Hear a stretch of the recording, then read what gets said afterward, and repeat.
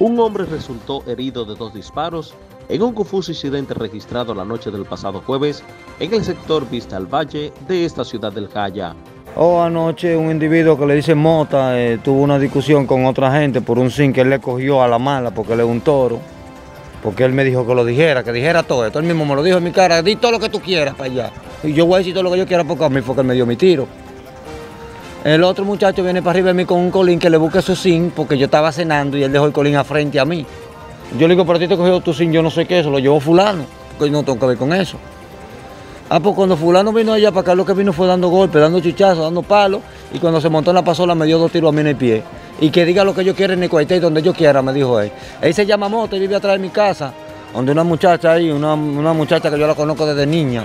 Atrás de la casa de mi mamá él vive, que él cree que se va a salvar ahí. Tiene de todo ahí metido y vende droga en Vite Valle. Vázquez pidió a las autoridades policiales apresar al supuesto agresor, un hombre solo identificado hasta el momento como Mota, el cual supuestamente lo ha agredido en varias ocasiones. Sí, ya anteriormente ya me había tirado con la pistola un par de veces, un par de cachazos y ha dado un par de tiros a un par de gente más ya también. ¿Por qué te va a tirar? No, por su gusto, porque él me ve cara flaca a mí, y él es gordito y él lleva un atraco. Él me dijo que pues, yo le voy a poner su querella de una vez a y lo voy a buscar donde esté. A él, si no lo busco a él, busco un familiar.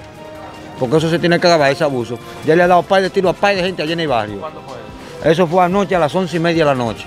NTN, Arismendi la Antigua.